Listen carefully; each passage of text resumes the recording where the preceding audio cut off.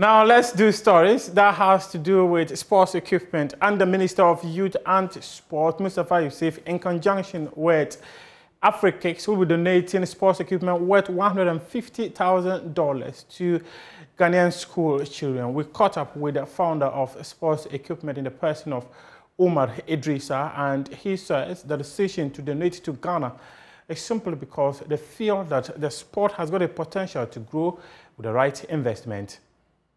I'm here in Ghana to donate 40 foot container worth of shoes, soccer kit, soccer equipment, clothes, toys, books for the people. We've been doing this for 10 years now in seven countries, 233 villages, over 172,000 pair of shoes donated.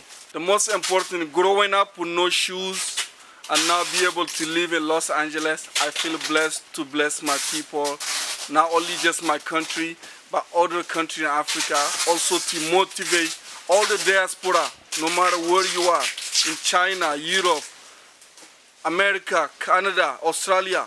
Think about those people that we left behind.